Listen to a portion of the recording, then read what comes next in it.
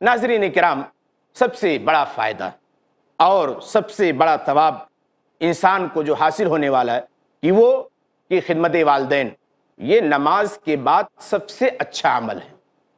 नमाज़ के बाद सबसे अच्छा अमल है। अब्दुल्ला बिन मसूद रदी अल्लाह तु से रिवायत है, वो बयान करते हैं कि मैंने अल्लाह के रसूल सल्लल्लाहु अलैहि वसल्लम से पूछा कि अल्लाह के रसूल ये बतलाइए कि अल्लाह के नज़दीक सबसे पसंदीदा अमल क्या है। आपने फरमाया असलात वाला वक्त नमाज़ को उसके वक्त पर पढ़ना, फिर कहा बिरवालदेन वालदेन के साथ उसने सलूक करना।